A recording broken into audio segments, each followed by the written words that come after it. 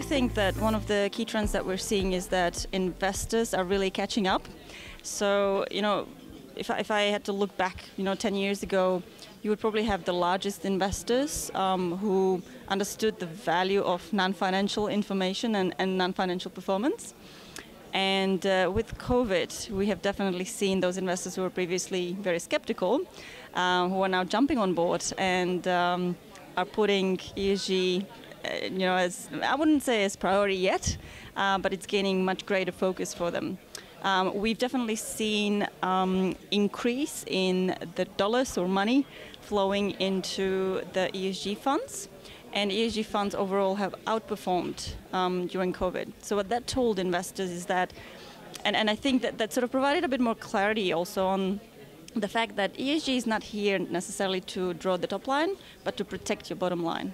It is about risk management and it is about awareness of the non-financial risks that ultimately lead to potentially financial risks or, or impact on the financial performance. And I think many investors who previously didn't see that as an, as an opportunity have now, let's say, woken up to it. So we're definitely seeing more investors looking into ESG a bit more. We're definitely seeing more investors subscribing to proxy advisors and more proxy advisors and subscribing to ESG rating agencies as well. We are seeing increase in ESG initiatives um, for investors, ESG associations and memberships of these associ associations. Um, so, so I do think that overall, the the trends are shifting towards you know putting focus on ESG, but at the same time, and, and this is this is a very important point, ESG might actually at some point become mainstream and we won't be talking about ESG anymore. We, we will be just talking about investment. It'll be natural, you know, part of, of how you think about your investment and how companies think about their business. And I think that, you know, from our perspective, that's actually the true value of ESG. That's a great question.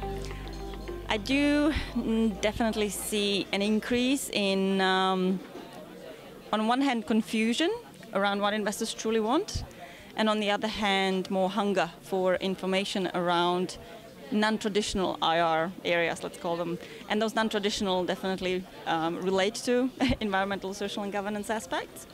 Um, I do also believe that investor relations are actually becoming not just shareholder communicators or, or the, the facil facilitators of you know the shareholder um, expectations and, and preferences, but much wider stakeholder preferences. So, so I do believe that investor relations now to actually be successful, uh, they need to understand that it's not just investors anymore that impact companies' access to capital.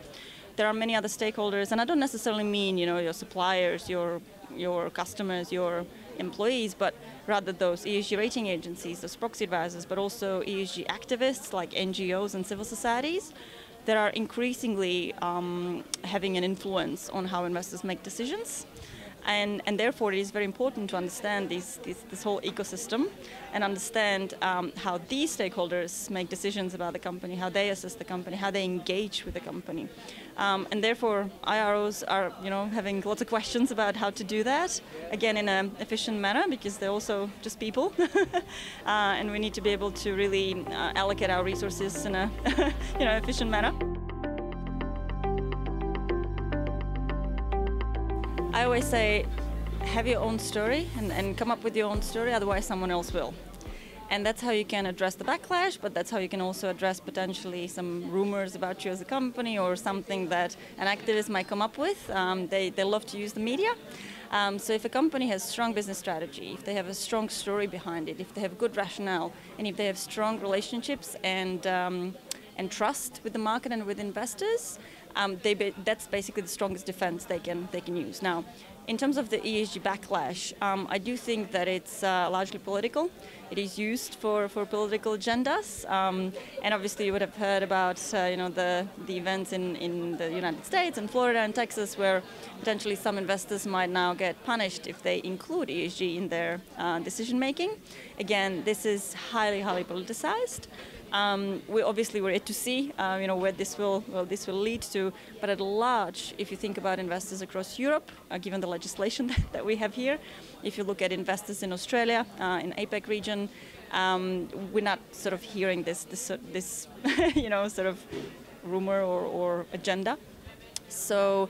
Um, I do think that it's potentially, you know, uh, it, it, sounds like very vocal, very noisy, very strong and, and significant, but in the grand scheme of things, and in the sort of when you look at the whole whole world and, and how investors make decision, I do think that this is a short-term glitch, let's call it.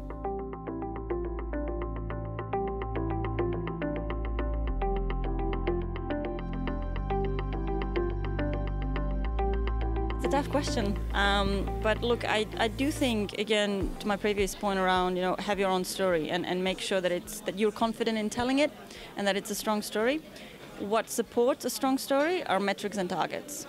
You you don't want to sound fluffy to the market. You don't want to sound like there's only qualitative types of disclosure. Um, you really want to back it up by by numbers, by by facts, um, and by metrics and targets. That's it's as easy or as difficult as, as it is. Um, look, I, I, know it's not always the, um, the smoothest um, and, and the, you know, the easiest way to go. But just like in your financial performance, where you're setting some targets on, on your financials, right? Um, it does make sense to do that on, on the non-financial if you really consider uh, certain areas of ESG as important. And the second step then is to really link it to executive remuneration. Because what doesn't get measured and what doesn't get paid for doesn't get done. That's what we say. Um, so, so I do think that that really uh, cements your your story um, if, if you truly believe in you know those those material and relevant areas of, of your ESG and if you're incorporating that in your business strategy.